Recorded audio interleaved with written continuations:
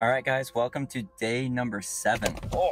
Welcome to day number seven of trying to master tre flips in 10 days. Yesterday, day six went really, really well. We were able to beat our personal record and get six out of 10 tre flips. Again, our goal is to be able to get five tre flips in a row on day 10. So we've got today, day seven, day eight, day nine, three sessions left before day 10, where somehow we've got to be able to pull this out. Hopefully we've got tre flips on lock. I feel like we're really, really close. And I feel like today could be a tipping point. So the hope today is to be able to get seven out of 10. In the last video, I made a lot of tweaks to how I was going about approaching learning tre flips. Initially, I was just focusing on the four pillars and isolating the power, the technique, the balance, and the commitment. But in the last video, I switched it up where I just practiced the technique and then I did three sets of 10 trying to combine the power, the commitment, and the balance all in one to try and make this one fluid motion. Today, I'm gonna keep that basic same approach, but I'm gonna do it a little bit differently. So we're gonna be using a tip from Nyjah Huston's X Games 360 flip trick tip that probably goes unnoticed by most people. So here's the tip by Nyjah Huston. For you guys learning it, especially kids where you guys are still bringing up your pop and stuff, try it up a ramp, that always helps.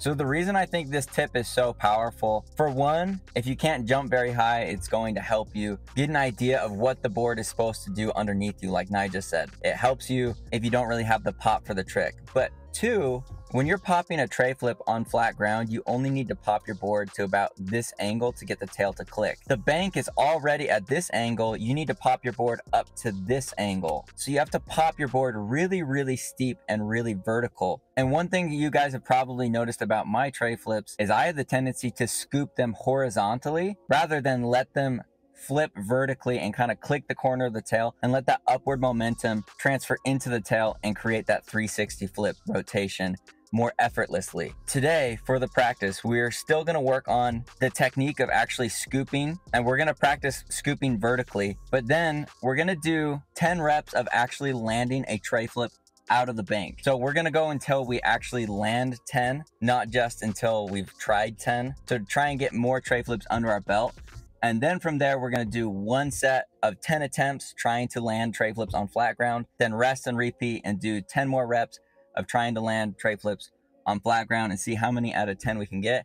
I'm hoping that by practicing on the bank, it will really help me with that vertical jump and vertical rotation. So I'm not trying to like kick behind me and jump so far forward and do this whole horizontal thing to really try and make the do more of like a backflip kickflip, if that makes sense. So that's the goal today. Step one, we just got to get warmed up around the park. We don't have much time, but we've got the park all to ourselves. So let's get to work.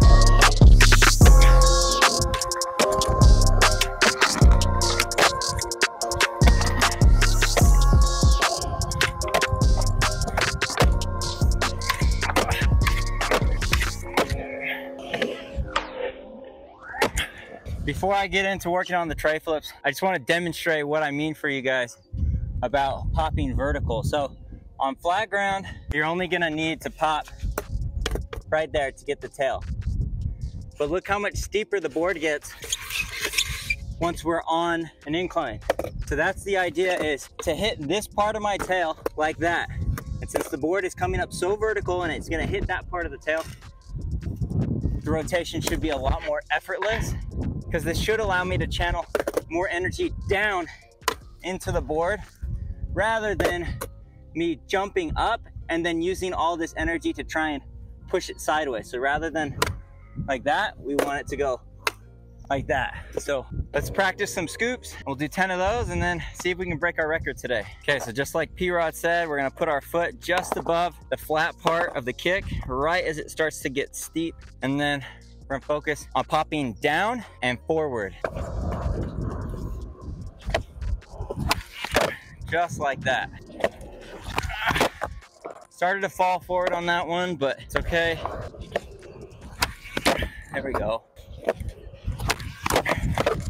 I tried to stanky leg that one a little bit, only because if I stanky leg, it means I'm not kicking behind me. Since I'm popping straight down, my foot shouldn't be getting out like that. My foot should stay in my field of vision the whole time.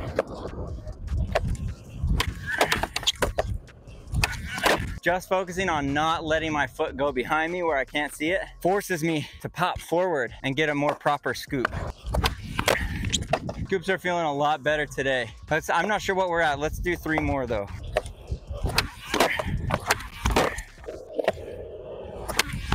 All right, let's take it to the bank and see what happens. All right, gonna see if I can do this in under 10 minutes. So we'll start a timer now and hopefully we can get one per minute, knock this out. I think if we focus on what I'm talking about, just popping vertically, it shouldn't be too hard. All right guys, so apparently the camera turned off and I already did four tre flips out of this thing. It's really hot, I'm running out of time, I'm tired, so I'm just gonna do the last six. Sorry you missed the first four, but they'll probably look like the last six, so. Yeah, so that's what keeps happening. I keep getting close, but not close enough. What's going on? All right, that's six or five. Oh my God. I wanted the back to back. All right, now that's six. Seven.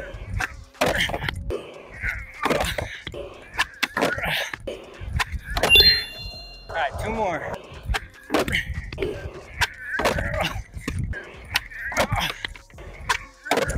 Oh my gosh. All right, let's see if we can do the last two back to back right now. All right, back to back right here. Oh, so close. Oh, sketchy, but we'll take it. All right, guys, something clicked for me while I was doing that, while I was trying to pop it vertical. It made me realize something. I started thinking of it like, how is this different from a pop shove it? What's the same and what's different? So for a pop shove it, your feet are in the middle of the board and your shoulders are, are square. So should be, right? Now the motion, to me, it seems like it's the same, but instead of putting your feet in line with the center of the board, you're turned crooked. You just, it's like you just take your body and turn it like 15 degrees.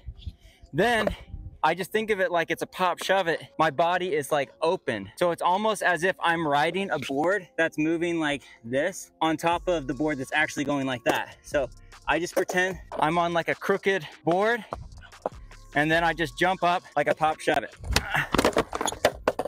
That's helping me channel the energy down into the board like a pop shove it rather than, oh, I've got to like scoop this thing behind me like a tre flip. So I don't know on the footage if it looks like I'm donkey kicking any less, but it definitely feels like I am. And I feel like the board's reacting differently. So unfortunately, those 10 took a lot longer than I was hoping. So I am a little tired, but I'm gonna take a quick break, grab a drink, and then we're gonna go for 10 attempts.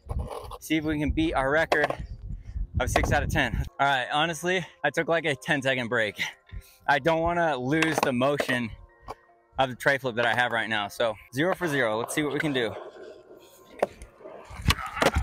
I definitely felt myself kick that time. Pop shovey. Okay. Felt like that was a bit better. Definitely think we're on to something. Hopefully I can keep a streak going.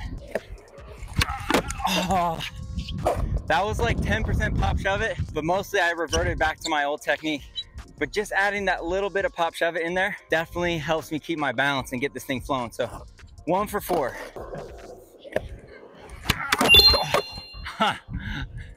Two for five. Three for six.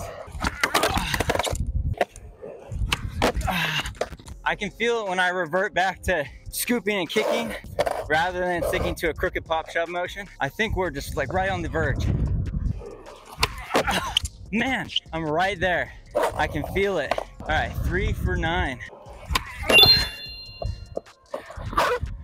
Four for 10. I know I didn't beat my record, but I feel like I low-key am unlocking these as we speak. All right, took another 20 second break.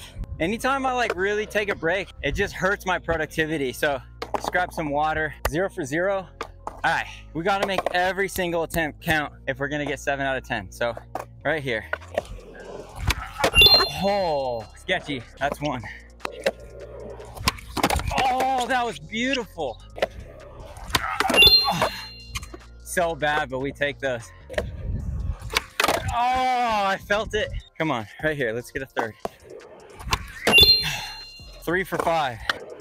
Ah, we've got to make four in a row. We're gonna beat our record. Let's get it right here. Oh no! Man, I wanted that one so bad. I'm right there. Dude, they're right there, man. Just need to bring my back foot up higher, I guess. Oh, Losing it. That was so goofy, but whatever. Oh, mother. Gosh, dang it. Not gonna lie, I don't think that score really reflects the progress that I've made. We got four out of 10. I'm gonna do six more tre flips just to get it back to an even 10 because I feel like I've got this right now. Evidently, I forgot to film an outro, so I just wanted to say thank you guys for watching all of these videos, keeping up with the series. They're easy to film, but it takes forever to edit them, so thank you for your patience, and I'll see you in the next one.